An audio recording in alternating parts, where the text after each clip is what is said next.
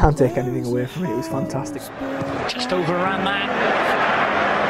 Now Zaha's got a bit of green grass ahead of him here. I was standing right behind him and to just see him shoot from that far and it fly in. Not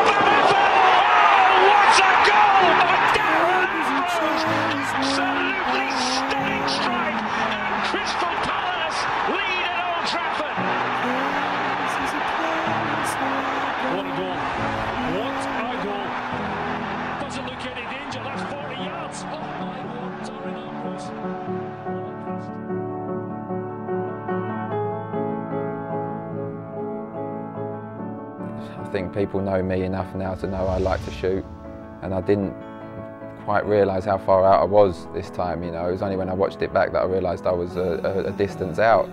So I was thinking, even when I watched it, I thought I shouldn't have really been shooting from there. But it was one of those I connected as, as sweet as I ever could, and uh, thankfully it ended up where it did.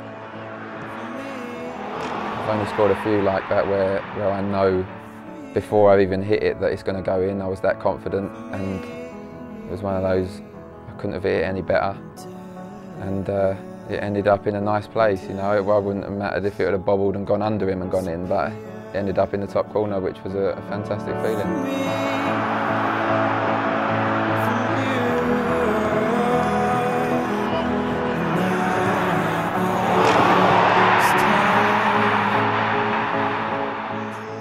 The best goal I've seen myself.